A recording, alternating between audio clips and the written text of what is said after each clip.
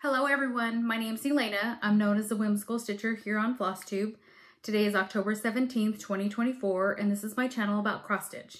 I am also a shop owner and I have my own online needlework shop and um, I'm also on Instagram, so you can check me out both places. I'll link them below.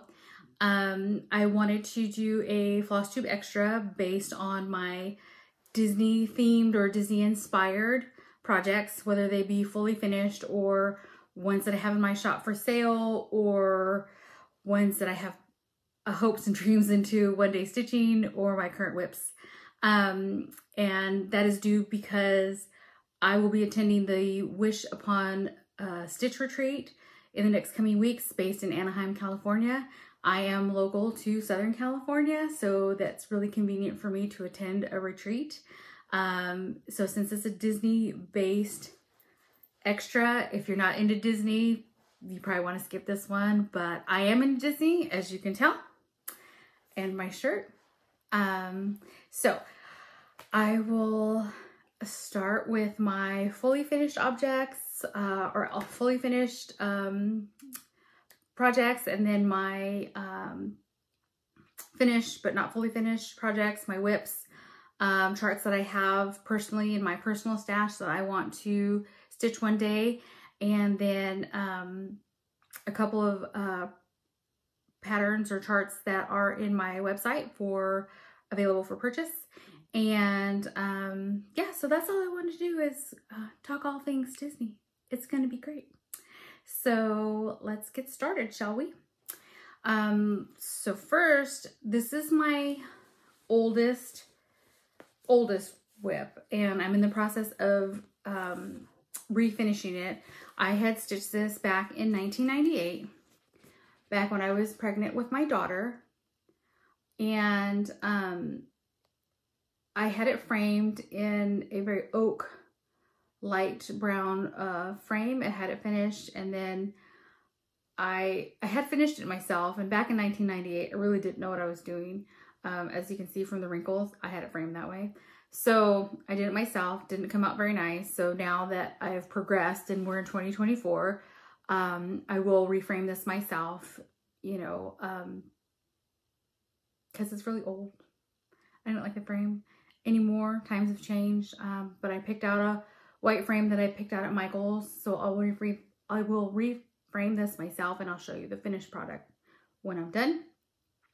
It needs a good bath also because it's very old, 20, 26 years old now. So this is my oldest one.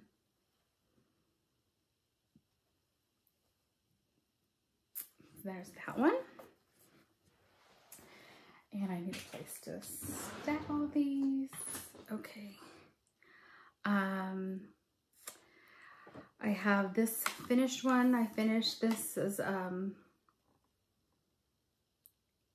I purchased this pattern off Etsy and the fabric is fabric Fabric Flair.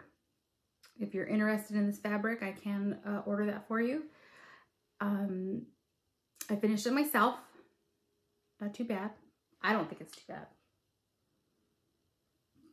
but I'm not a professional framer. So I finished this, I think, probably two years ago now, maybe longer. I don't quite remember when.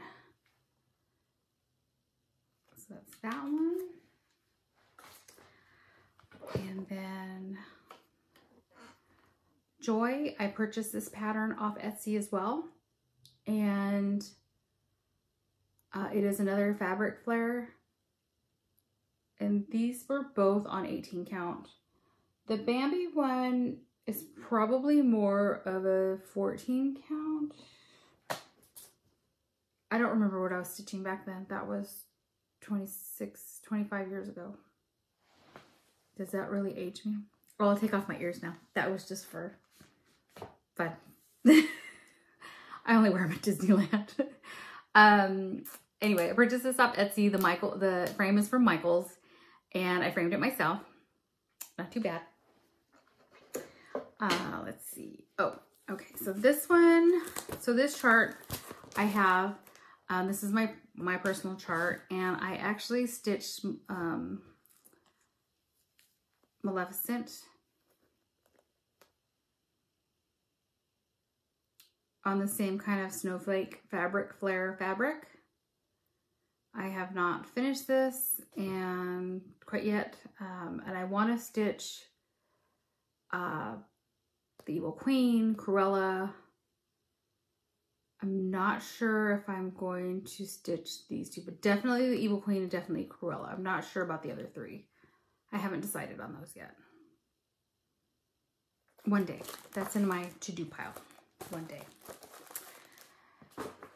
And so now we're going to get into WIPs because, so I used to stitch back in the 90s. Um, I did a lot of stitching when I was younger and then, you know, life happened. And so I took a really long break, probably from like 99, 2000 until I came back to stitching in 2015. Lots changed since then. Obviously, I was stitching on basic white um, back then.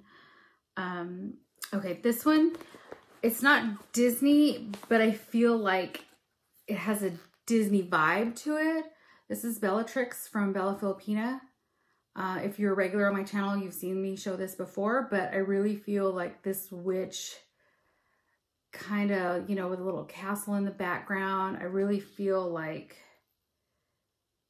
like, like it's Disney vibe. So, here she is. And I haven't gotten too far along. If you're new here, you'll find I have several large projects.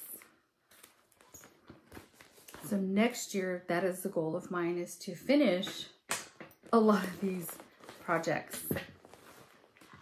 That's what my goal is now. By the time we get there, I'll, you know, it's really hard when you see so many new projects or new new charts coming out and they're just stunning and you just can't help yourself sometimes. I need, hold on just a second, excuse me.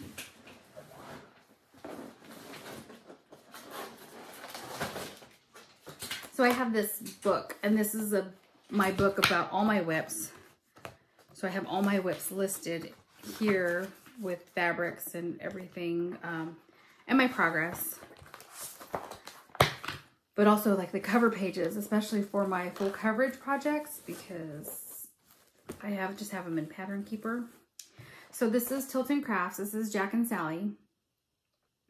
And I was stitching this on a, a white opalescent and then I changed my mind and I wasn't really digging on it. So I had to do a restart and I restarted it on this beautiful fabric. And I do park, so you'll have hanging threads. And I've just barely got the top in so far. I am not going to stitch all the white background um, because that would just be a lot. And I don't remember. Yes, I do. Yes, I do. I remember what it is. It's Aida uh, 18 count Eros by Under the Sea Fabrics is my fabric choice. And I'm really enjoying this colored fabric better. And of course it's opalescence and I think it will be beautiful on this. And I just saw someone posted on the Tilton Crafts Facebook channel or website. Um, and somebody is like almost done. I forget her name, but it's coming out beautiful. Um, she was she did a really good job. She wasn't stitching the white background either. She um, used a colored fabric, and if you join that Tilton Crafts um, Facebook, you'll be able to see it. It's coming out beautiful. Loved it. Um, let's see. What's next? Um, sorry.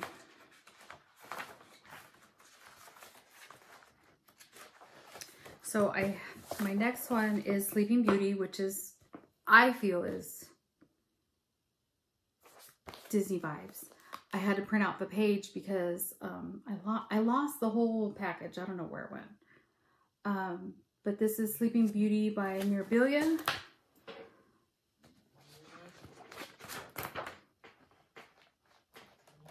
Sorry, my phone's ringing. Um, This is on 18 count jazz. I started this in 2020.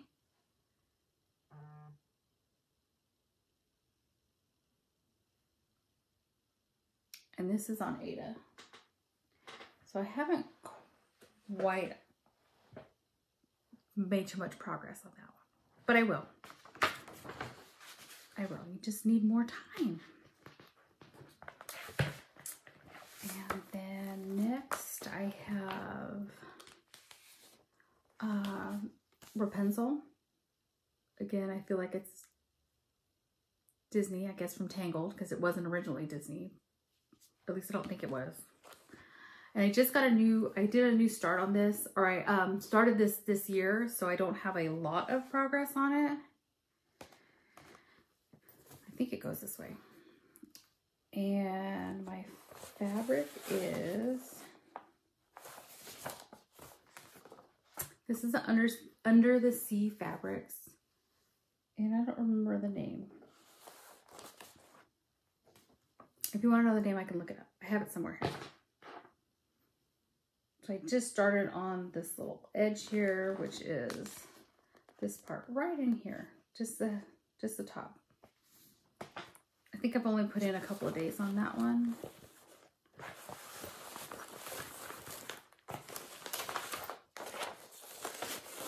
So and she lives in my Beauty and the Beast bag.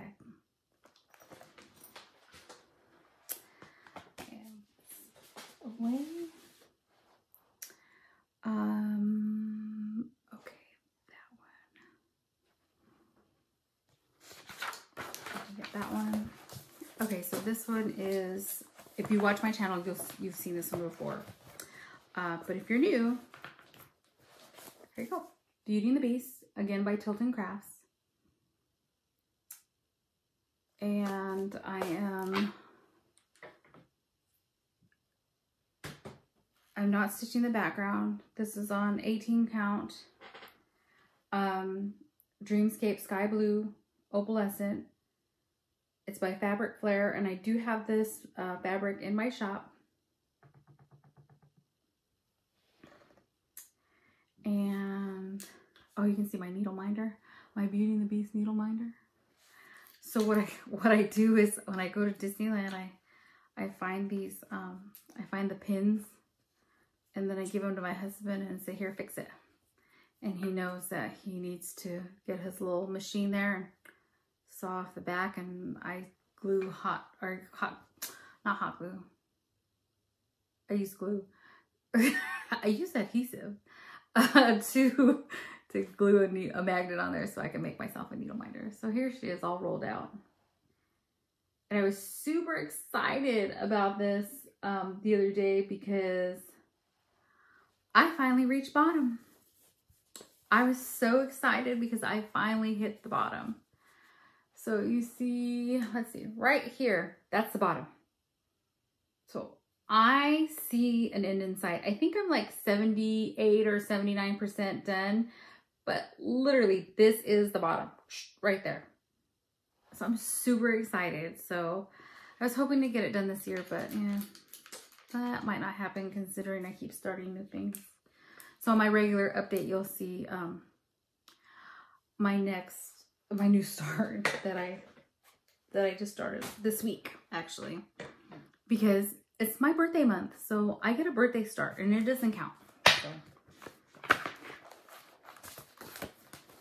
Uh, my next one is Maleficent. This is how I got back into stitching in 2015. Yeah, 2015.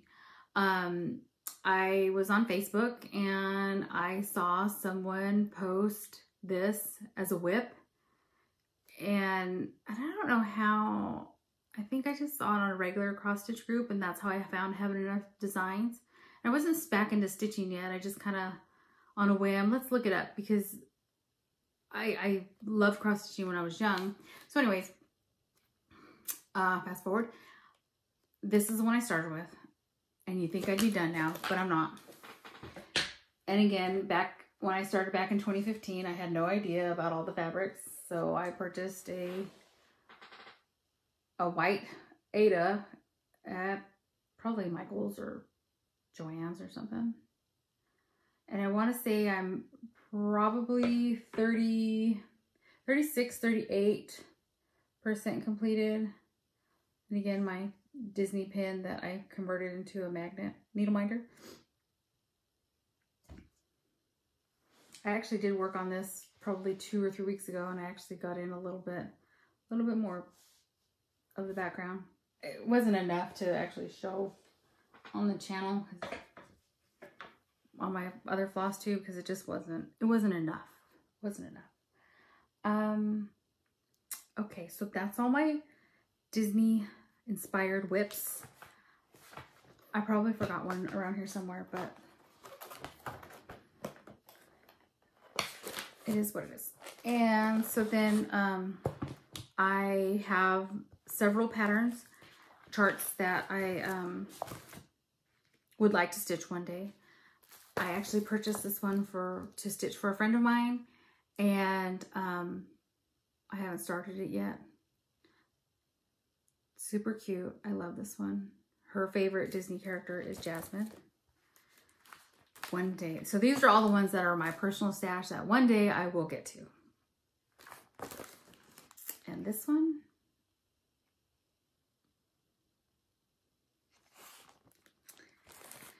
And then, and these are all uh, paper charts that I own.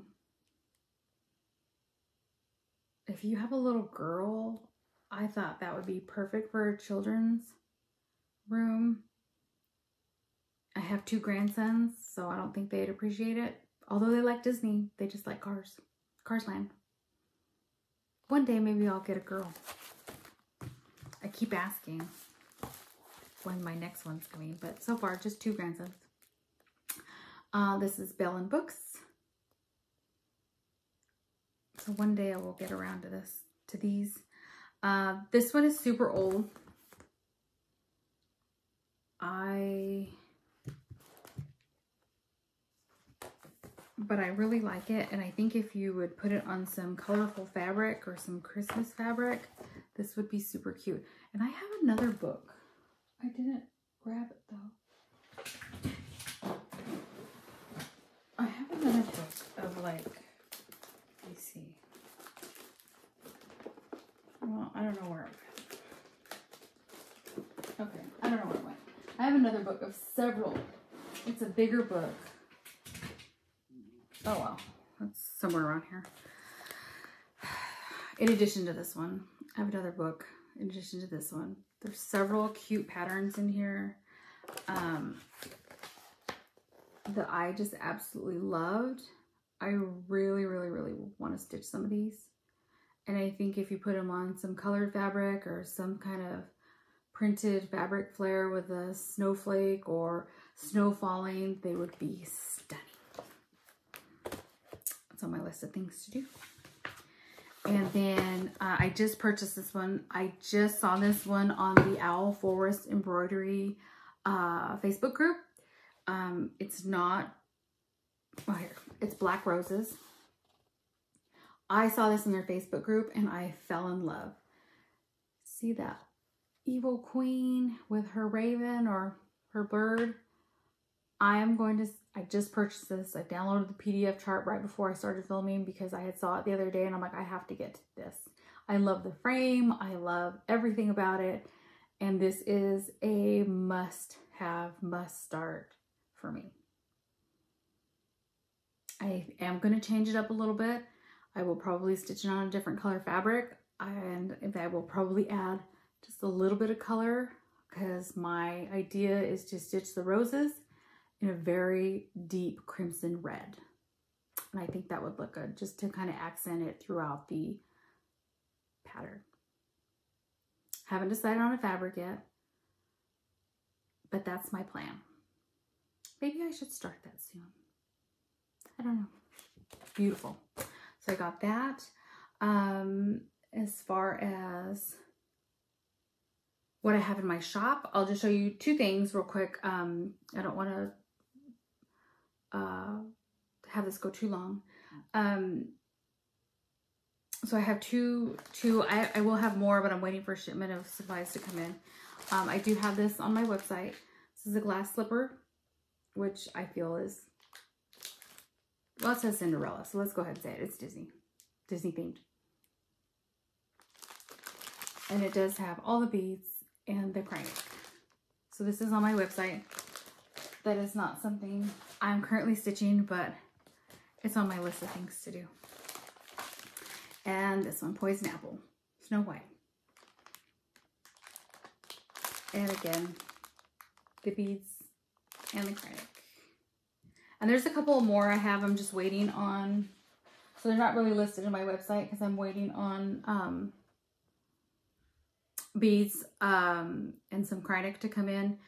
Um, I have available would be the um, the magic lamp, and then the other one is